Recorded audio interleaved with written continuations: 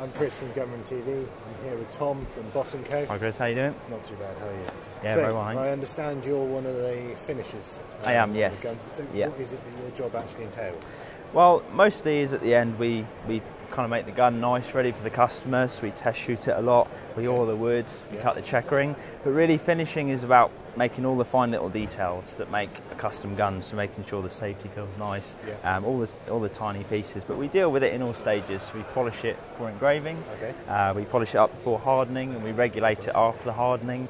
Um, so we yeah we work work with all angles really. It's a nice department to be in because you do a, do a bit of everything. Yeah. So is pretty this good. proper case hardening then that's done on that? It is, yeah. It's done in Birmingham by a company called Ray St Ledger. It's everybody. you know, They do, they do everybody's. Um, They do Purdey's and Hollands and Hollands. Yeah. Um, and it's the more traditional finish, basically. Yeah, exactly. Um, it's it's more simple, um, but that's how they always used to be, hundred plus years ago.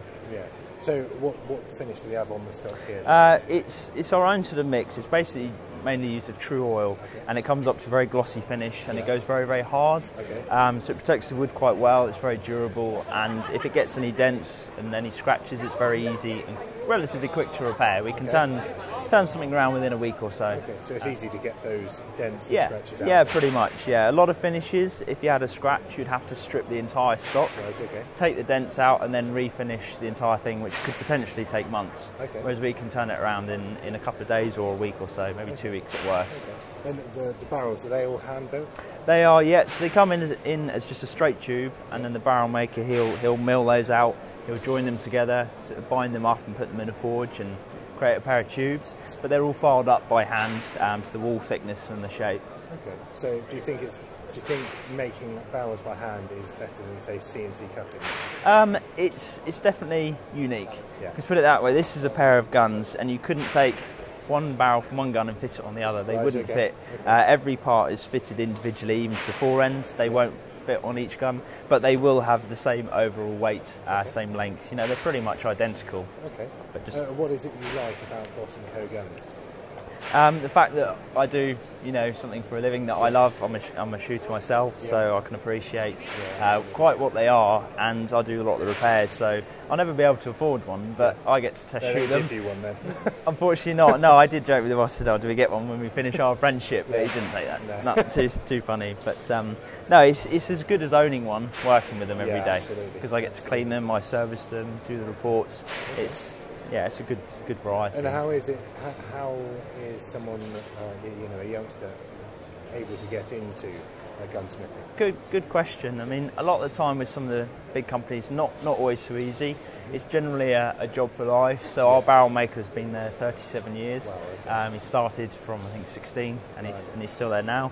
Um, a lot of the time, it's you can only get in if someone dies, leaves, or retires. But a lot of the companies like Holland and Holland are, are pushing to get new blood in. Um, a lot of the workers have been there quite a long time, and no one works forever. And they opened up a training school, and they're taking people on. Um, one of my friends has just started there in September, um, so hopefully they'll they'll go up through the ranks quite quickly. He's soon to be positioned in one of the departments, um, one of the machining shops, maybe maybe as an actioner or a stocker. We don't don't know yet. Okay. Uh, and then hopefully they'll get a load of new fresh people um, September this year. You know, So hopefully that's, get that's more. the Boss Co training centre then. Well, that, that's what they, other companies do. We, we don't. I was Okay. lucky to find the job. Um, Yeah. It was to do with my boss, Arthur, who's quite new to the company. Yeah. And he, it was his decision to get uh, apprentices in. So there's about six Okay. of us. Okay. Um, and I was lucky to find the advert in, in a paper. Someone posted it online. And just through chance, I found it Chance in the right place at the right time. Landed the right place. That's really? it. But the best thing to do is just you know apply for the companies. Just keep keep sending in CV, asking what positions are available, Yeah. and you might you might be lucky that someone leaves at the right time, and Perfect. then you're in. Perfect. So, do you like making the rifles or the shotguns? What's your favourite?